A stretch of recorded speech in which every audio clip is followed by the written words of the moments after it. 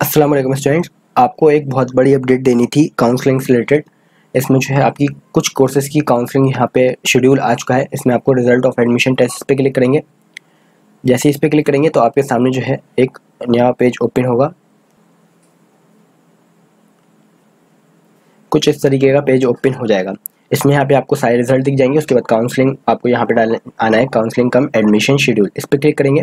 तो यहाँ पे जो है आपका अभी बिल्कुल जस्ट यहाँ पे इंजीनियरिंग टेक्नोलॉजी में इतने सारे कोर्सेज का आपका यहाँ पे शेड्यूल आ चुका है। इस पर आप क्लिक करेंगे, जैसे ही तो आपके सामने यहाँ पे पूरा शेड्यूल आ जाएगा, जैसे कि एम टेक कंप्यूटर इंजीनियरिंग का आपका दिखाते हैं।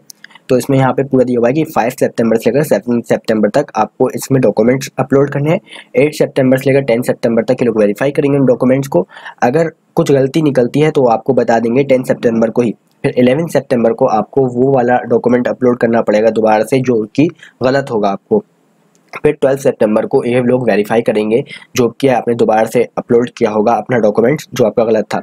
उसके बाद थर्टीन से फोर्टीन सितंबर तक की इन दोनों के बीच में आपका यहाँ पे फर्म फ़र्स्ट फर्म लिस्ट आएगी, यानी उन स्टूडेंट्स की लिस्ट आ जाएगी जिनको सिलेक्शन बिल्कुल गारंटी हो गया है, अब उनको खाली फ़ी पे करनी होगी। तो ये लिस्ट आएगी जिनके बिल्कुल सारे डॉक्यूमेंट सही हैं, उनकी लिस्ट आपकी यहाँ पे आएगी थर्टीन से फोर्टीन सितंबर में। उसके बाद फिफ्टीन से एटीन सितंबर में तीन दिन का टाइम मिलेगा आपको जो है इसमें आपको फ़ीस पे करने के लिए, चार दिन का टाइम मिलेगा। एक चीज़ इसमें और जो है इन्होंने बहुत अच्छी एड करी है कि 19 सितंबर से लेकर 20 सितंबर तक इन्होंने ग्रेस पीरियड भी मतलब किया है विद फाइन जैसे कि कोई बच्चे जो है 18 सितंबर तक फ़ीस पे नहीं कर पाता है। तो लास्ट ईयर इन्होंने क्या किया था कि फिर उसका चांस खत्म कर दिया था कि अब वो फ़ीस पे नहीं कर पाएगा, उसका एडमिशन कैंसिल कर दिया गया।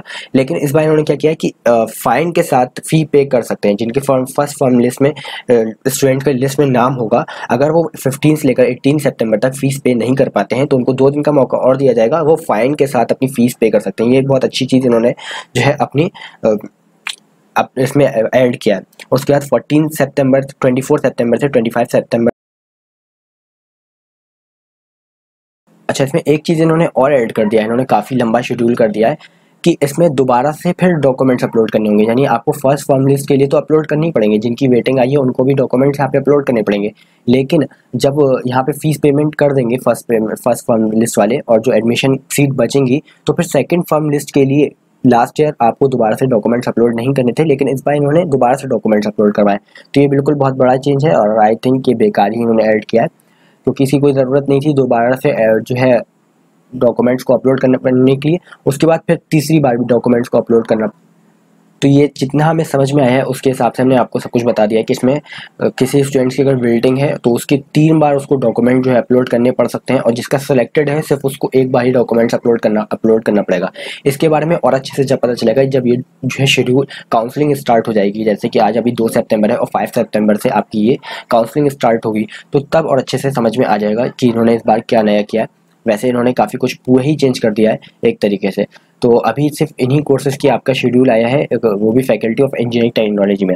आपका इलेवंथ क्लास का जो है शेड्यूल कब आ सकता है? तो ये आपका परसों तक शेड्यूल आ सकता है। ये किस बेस पे कह रहा है? क्योंकि सेवनटीन अगस्त को आपका जो है, आपका इंजीनियरिंग टेक्नोलॉजी में रिज़ल्ट आए थे और नाइनटीन में आपका जो है सीनियर सेकेंडरी क्लास इलेवंथ का रिज़ल्ट आया था। तो ऐसे में दो दिन लगे थे तो ऐसे में शेड्यूल में भी हो सकता है दो दिन लग जाए आपका यहाँ पे, आपका आज दो सितंबर को। इसका शेड्यूल आ चुका है तो फोर या फाइव सितंबर को, या फिर हो सकता है कल ही आपका क्लास इलेवन का भी शेड्यूल आ जाए। जैसे शेड्यूल आएगा, आपको इस चैनल पर अपडेट कर दिया जाएगा। तो इस चैनल से ज़रूर जुड़ रहेगा और कुछ भी इस बार शेड्यूल बिल्कुल चेंज हो गया है तो इस खुद से बिल्कुल भी कोशिश मत करिएगा आप लोग अपने काउंसलिंग करने की, जब तक किसी से एडवाइस आप ना ले लें। जो इस बारे में जानता हो, उससे आप लोग एडवाइस ले सकते हैं, या फिर इस चैनल पे आपको लाइव बिल्कुल करके दिखाया जाएगा कि किस तरीके से आपको काउंसलिंग करनी है।